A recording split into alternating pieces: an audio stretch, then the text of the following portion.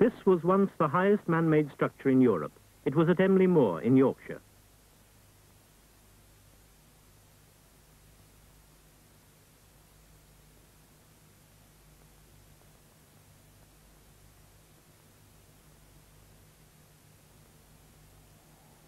On the 19th of March 1969, it collapsed.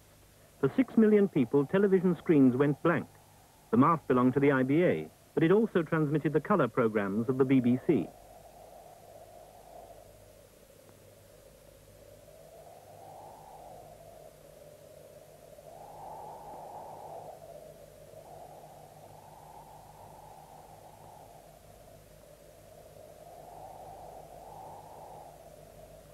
The IBA owned an emergency mast.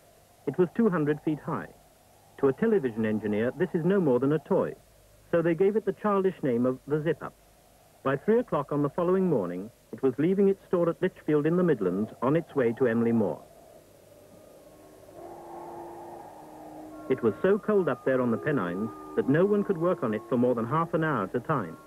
Yet, in less than four days, the signals were restored. But the zip-up wasn't high enough.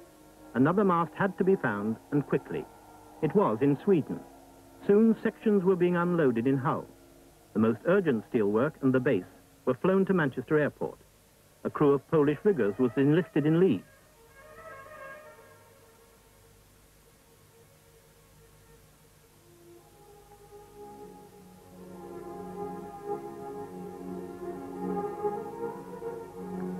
So a taller mast once used by the Swedish Air Force, began to rise 700 feet into the Yorkshire sky. In 27 days, 20 hours and 45 minutes, it was finished, a world record for so high a structure.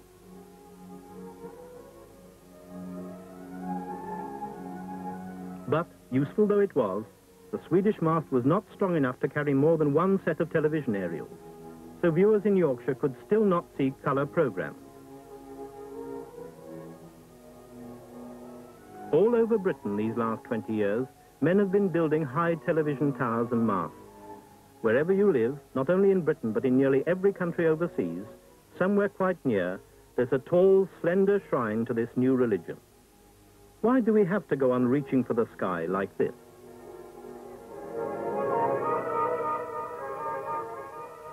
Broadcasting is just what its name implies.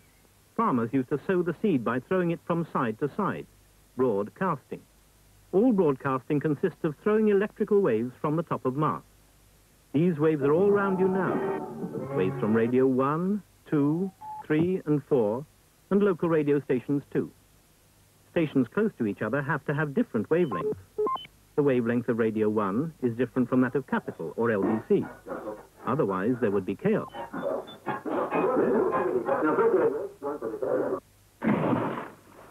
Most radio waves don't escape from the Earth's atmosphere.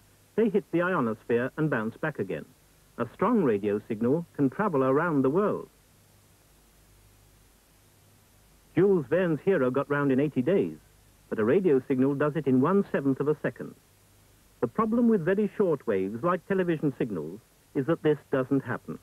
The signals fly out of the Earth's atmosphere and vanish into space. We can receive pictures from the moon. Perhaps they're getting programs on Mars. There is another problem, too. The Earth is round. So even if the signal comes out sideways, the waves move away from the Earth's curve. High towers direct the waves downwards, across the hills and high buildings. The higher the mast, the more people can receive television.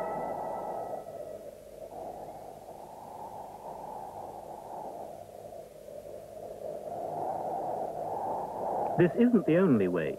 You could have a higher aerial.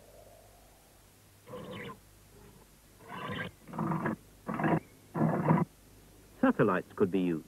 That's expensive and calls for a new piece of furniture in the garden. Or the signals can go underground by cable. That system's already in use in places, but for most people, it's in the future. Meantime, high masts bring problems. Ray Hills, Chief Engineer Transmitters at the IBA. Sometimes, very infrequently, one is lucky.